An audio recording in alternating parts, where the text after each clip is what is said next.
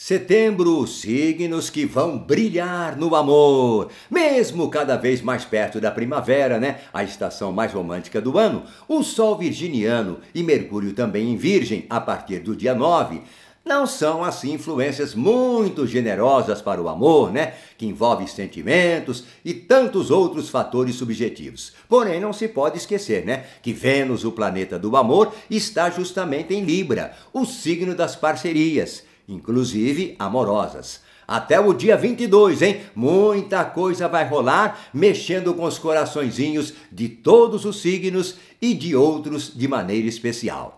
Isso sem falar no estupendo aspecto de Vênus com Júpiter no dia 15, que também deve movimentar as coisas relacionadas ao coração. Dito isso, vamos ver quais os signos que mais podem brilhar no amor em setembro.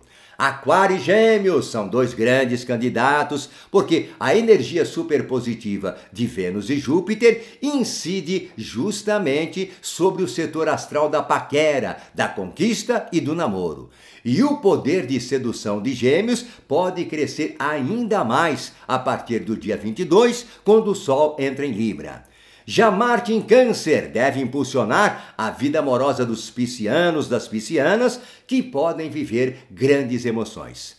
Mas quando se fala em amor, não se pode esquecer também a sexta casa astral, a casa do noivado, né? E da sétima casa, a do casamento. Nesse caso, as vibes astrais de setembro podem ser muito favoráveis para Áries, Capricórnio e depois do dia 22 para Touro também.